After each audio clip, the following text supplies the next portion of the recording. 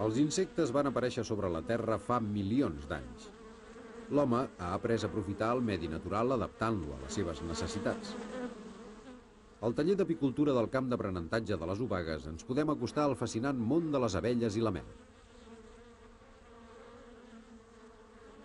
El treball de l'apicultor es basa en els coneixements de la biologia i els costums de les abelles i del medi natural en què viuen i s'alimenten. També aplica les tècniques més adequades per allotjar, reproduir i explotar aquests laboriosos insectes socials.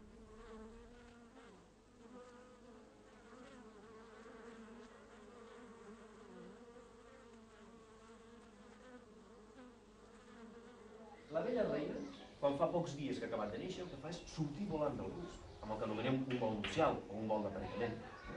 I amb aquest vol d'aparellament, doncs, la reina va volant bastant alt, 15-20 metres d'alçada, bastant de pressa, i al mateix temps que vola deixen anar un olor, un perfum, que resulta que és molt atractiva per la, la reina.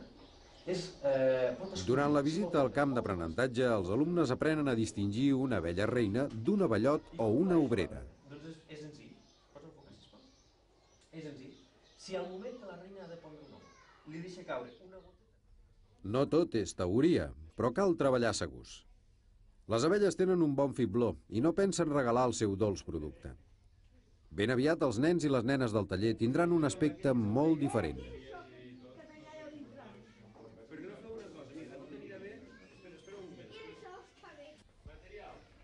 Per poder veure tranquil·lament l'activitat de les abelles dins del rusc o arna, s'utilitzarà un fumador.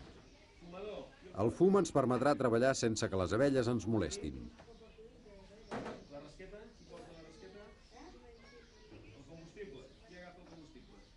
Qui vol portar el combustible? El fumador s'omple de palla i s'encén abans d'acostar-se a l'arna o rusc. El monitor explica la millor forma d'utilitzar-lo.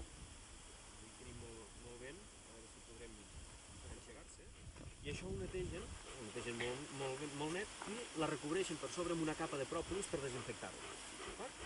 Llavors, hi ha brases, doncs, s'emporta el fum i sortiria per la part de dalt. Ah? Molt bé, us el deixo a vosaltres ara, el proveu i mentre em vesteixo jo.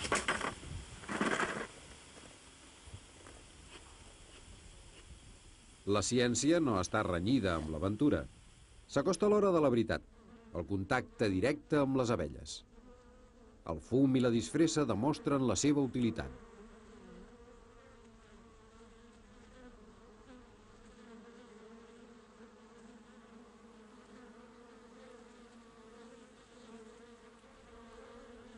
Ningú no diria que n'hi havia tantes.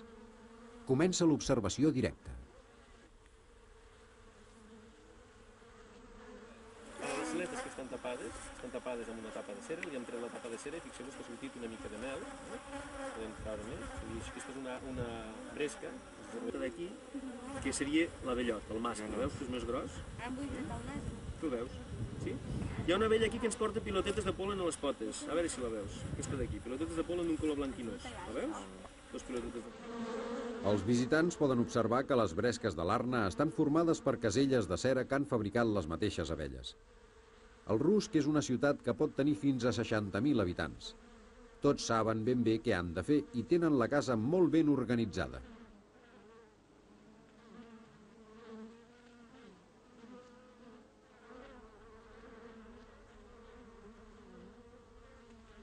Les sortides i les entrades són freqüents, però tothom sap on ha d'anar.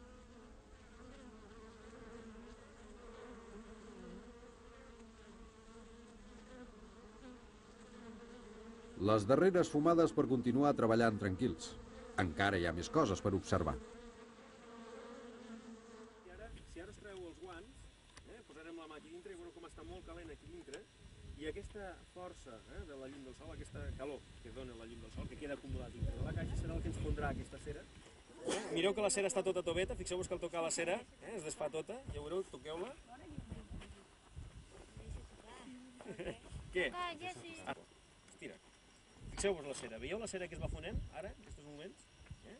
Va caent, va gotejant i llavors per la zona, per aquell forat que hi ha allà al fons, va caent a fora i la recollim en aquell pot que tenim a sota. La petit... Ah, aquesta petita. Posa-la. La cera és un altre producte típic de les abelles que també es pot obtenir de forma manual. En aquest cas, sempre un sistema que aprofita la mateixa calor del sol per fondre-la. Aquesta manipulació permet donar-li una nova forma.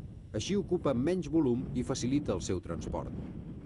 Aquesta etapa no és la definitiva, ja que segons la finalitat que es pretengui encara se li farà una manipulació posterior.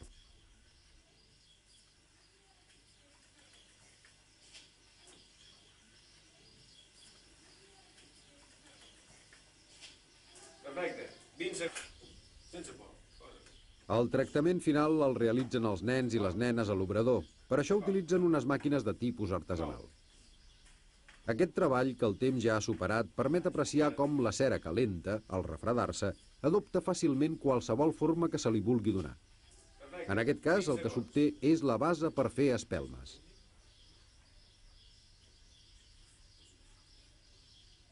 Avui hem après moltes coses de les abelles, uns insectes que no paren mai de treballar per fer-nos la vida més dolça.